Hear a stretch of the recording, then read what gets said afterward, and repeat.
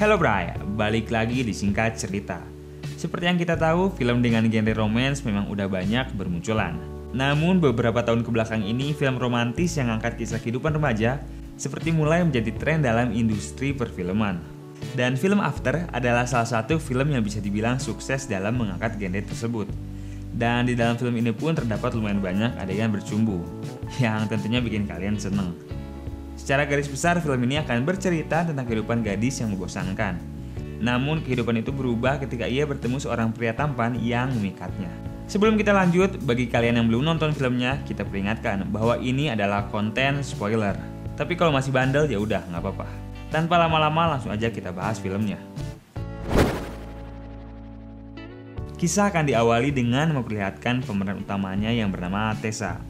Dan di sini Tessa diceritakan sebagai seorang gadis lugu dan polos yang baru akan menjalani kuliah perdananya esok hari. Dan di sini ada ibunya Tessa serta pacar Tessa yang bernama Noah. Dan Noah ini masih anak SMA ya. Singkat cerita, mereka akhirnya berangkat menuju asrama kuliah Tessa. Sesampainya di asrama, mereka dikejutkan dengan teman sekamar Tessa yang terlihat seperti berandal. Dan nama ia adalah Steph. Melihat penampilan Steph yang seperti itu, ibunya Tessa pun langsung berniat untuk memindahkan Tessa ke kamar yang lebih baik. Namun di sini Tessa meyakinkan bahwa ia bakalan bisa menjaga diri. Dan dengan sedikit usaha, ibunya pun akhirnya percaya. Singkat cerita, akhirnya ibunya pun pulang. Pada esok hari, perkuliahan pun dimulai. Ini merupakan hari yang Tessa tunggu-tunggu. Terlihat Tessa yang begitu bersemangat menjalani perkuliahan perdananya. Dan di sini Tessa berkenalan dengan mahasiswa lainnya yang bernama Landon. Berpindah pada malam hari, Tessa yang habis mandi dikejutkan dengan kehadiran seorang cowok di dalam kamarnya. Dan cowok ini bernama Hardin, yang ternyata merupakan temannya Steph. Di sini Tessa memerintahkan Hardin untuk keluar, dan Hardin yang keras kepala pun akhirnya keluar, dengan sedikit bercekcok dengan Tessa. Esok harinya Tessa yang lagi sibuk belajar ini tiba-tiba didatangi oleh Steph. Dan di sini Steph minta Tessa untuk ikut ke sebuah pesta pada malam hari. Katanya sih ini sebagai ajang pengenalan Tessa kepada teman-temannya. Tessa yang polos dan lugu ini sebenarnya udah nolak. Namun karena Steph maksa, akhirnya Tessa pun terpaksa untuk ikut dengannya. Dan malam hari pun tiba. Berpesta dengan minum alkohol dan bercumbu kelihatan seperti hal yang asing bagi Tessa. Dan Tessa akhirnya dikenalkan dengan teman-temannya Steph. Dan di sana ada Hardin, cowok yang tadi sempat gangguin Tessa. Di sini Tessa diajak untuk merokok dan minum bersama mereka. Namun karena Tessa ini gadis yang baik, maka ia pun menolaknya. Akhirnya karena bingung mereka pun menantang Tessa untuk bercumbu dengan Hardin. Namun Tessa yang polos pun tentu menolak ajakan tersebut. Tessa yang kecewa atas perlakuan teman-temannya pun akhirnya pulang. Esok harinya kita kembali diperlihatkan Tessa yang sedang menjalani sebuah kelas. Dan pada kelas ini Tessa memberikan pendapatnya tentang sebuah buku. Namun tanpa diduga di sini Hardin menolak pendapat Tessa dan memberi pandangannya sendiri. Di sini akhirnya mereka pun sedikit berargumen yang membuat Tessa makin kesal pada Hardin. Dan pada malam hari, Tessa sedikit berbincang dengan Steph. Dan pada percakapan ini kita mendapatkan sebuah kesimpulan bahwa selama ini seluruh hidup Tessa telah diatur oleh ibunya sendiri, bahkan dari dia kecil. Dan Noah merupakan satu-satunya pria yang pernah Tessa dekati. Hal tersebut menjadi jawaban atas Tessa yang selama ini punya pribadi yang lugu dan polos. Singkat cerita pada esok hari, Tessa yang sedang membeli sebuah kopi ini nggak sengaja ngeliatin Hardin.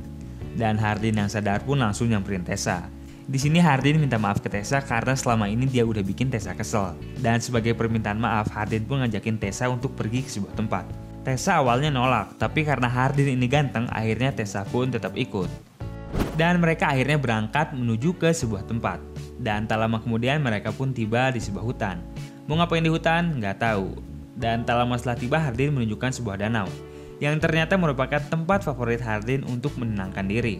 Di sini Hardin langsung ngajakin Tessa untuk berenang. Dan Tessa yang sempat nolak akhirnya tetap ikut berenang bersama Hardin. Gak lama setelah berenang mereka pun akhirnya adu mulut. Dan dari sinilah semuanya dimulai. Sepulangnya dari danau mereka pun singgah untuk makan di sebuah tempat. Di sini terlihat hubungan Tessa dan Hardin yang tiba-tiba terasa begitu dekat. Dan gak lama setelah makan, tiba-tiba datang teman-teman Hardin. Dan ketika temannya datang, Hardin ini langsung menunjukkan sikap yang berbeda, alias malu atas kedekatannya dengan Tessa. Dan di sini Hardin bilang ke Tessa jika apa yang dilakukannya tadi siang hanya sebatas untuk senang-senang aja dan gak ada hubungan apa-apa di antara mereka. Tessa yang mendengar hal ini pun langsung marah dan pulang.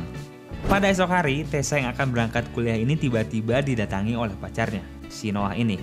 Dan di sini Tessa membawa Noah ke sebuah pesta yang mana di sana udah ada Hardin dan teman-temannya. Dan Hardin yang melihat Tessa bersama Noah pun menunjukkan sikap yang gusar, seperti lagi cemburu atas kehadiran Noah ini. Tak lama setelah berkumpul, Tessa ini sedikit digoda oleh temannya Hardin, dan Hardin yang melihat hal tersebut pun langsung menghajarnya. Dan sepulangnya dari pesta, Tessa tiba-tiba dapat telepon dari Landon yang nyuruh Tessa datang ke rumahnya untuk nenangin Hardin. Sekedar informasi, jadi Landon dan Hardin ini merupakan saudara angkat. Karena ayah Hardin dan ibu Landon akan menikah minggu depan. Dan diceritakan bahwa Hardin memiliki masa lalu yang buruk dengan ayahnya. Jadi dia dan ayahnya ini nggak terlalu bersahabat. Singkat cerita, Tessa akhirnya mendatangi Hardin dan mencoba untuk menenangkannya. Namun percobaan tersebut tidaklah berhasil. Akhirnya Hardin memecahkan sebuah botol minuman. Tessa yang mencoba untuk membersihkan botol tersebut tidak sengaja terluka oleh pecahan kaca tersebut. Hardin yang merasa bersalah pun akhirnya mencoba untuk mengobati luka tersebut. Eh, tapi bukannya diobatin, di sini mereka malah cocok tanam. Dan apa itu cocok tanam, saya juga nggak tahu. Setelah melakukan perbuatan nikmat, Tessa akhirnya terbangun di esok hari. Dan Tessa yang teringat akan Noah pun segera pulang. Dan dalam perjalanan mereka akhirnya bertemu. Di sini Noah yang kebingungan atas hilangnya Tessa semalam langsung paham bahwa Tessa ini telah berselingkuh darinya. Noah yang kecewa lantas pergi dan meninggalkan Tessa. Setelah putus, Tessa ini terlihat tidak begitu bersedih karena sebenarnya Tessa ini menyayangi Noah sebagai adiknya sendiri, bukan sebagai pacar. Dan beberapa hari setelah putus, Tessa ini malah semakin dekat dengan Hardin. Dan hari-hari pun kian dilalui Tessa dengan berduaan serta bermesraan dengan Hardin. Layaknya anak muda pada umumnya, kayak pernah ya dan tiba hari di mana Tessa dan Hardin hendak melakukan cocok tanam. Namun sayangnya mereka dikejutkan dengan kedatangan ibu Tessa. Ibu Tessa yang melihat hal tersebut pun lantas shock karena Tessa ini berubah menjadi pribadi yang lain dalam waktu kurang dari seminggu. Ibu Tessa lantas memberi ultimatum kepada Tessa untuk putus dengan Hardin atau Tessa ini tidak akan berhubungan dengan ibunya lagi. Tessa yang selama ini hidupnya membosankan pun akhirnya memilih untuk tetap bersama Hardin. Setelah kepergian ibunya, Tessa ini malah semakin hidup dengan bebas. Bahkan kini ia tinggal berdua bareng Hardin, layaknya suami istri. Dan kedekatan Tessa dengan Hardin semakin dapat kita lihat dalam adegan-adegan romantis yang ditunjukkan. Singkat cerita, kita diperlihatkan Tessa yang menghadiri acara pernikahan ayah Hardin dan ibunya Landon. Di sini kita dapat melihat raut muka Hardin yang menahan emosi, serta tidak nyaman berada di sana. Dan akhirnya di sini kita bisa tahu penyebab Hardin ini benci ke ayahnya ialah karena ayahnya ini pernah terlilit pada sebuah masalah serius yang akhirnya menyebabkan ibunya meninggal. Tessa mendengar hal ini lantas mencoba untuk menenangkan Hardin dengan berdansa dan kembali bercocok tanam. Kali ini cocok tanamnya serius. Esok harinya, Salah satu teman Hardin yaitu Molly merasa cemburu atas kedekatan Tessa dan Hardin yang semakin lengket. Di sini Molly manas-manasin Tessa sekaligus ngasih tahu kalau Hardin ini ngedekatin Tessa untuk main-main doang. Dan pernyataan Molly ini diperkuat dengan Tessa yang tidak sengaja melihat pesan pada HP Hardin. Setelah kepergok, Hardin akhirnya pergi meninggalkan Tessa. Pada malam hari, Tessa yang semakin penasaran pun akhirnya mendatangi teman-teman Hardin di sebuah bar. Di sini Tessa dengan lantang mengatakan bahwa dia dan Hardin sekarang berhubungan. Dan tak lama kemudian datanglah Hardin. Dan akhirnya di sini semua kebenaran terungkap. Jadi alasan Hardin ini ngedekatin Tessa karena Hardin ini merasa penasaran dengan Tessa yang telah menolaknya untuk bercumbu pada saat awal mereka bertemu. Yang tadi kita lihat di awal film.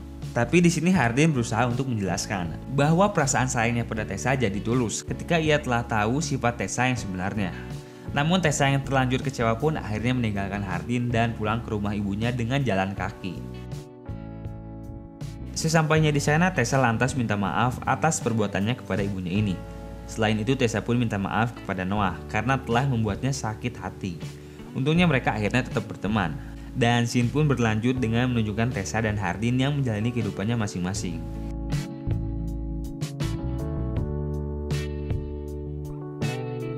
Dan singkat cerita, setelah satu semester berlalu, Tessa ini mendapat sebuah surat yang berasal dari Hardin. Pada surat itu Hardin mengatakan bahwa Tessa adalah satu-satunya orang yang membuat Hardin ini berubah menjadi pribadi yang lebih baik.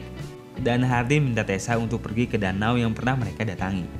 Singkat cerita, film pun menunjukkan kehadiran mereka berdua di danau tersebut. Dan film pun tamat.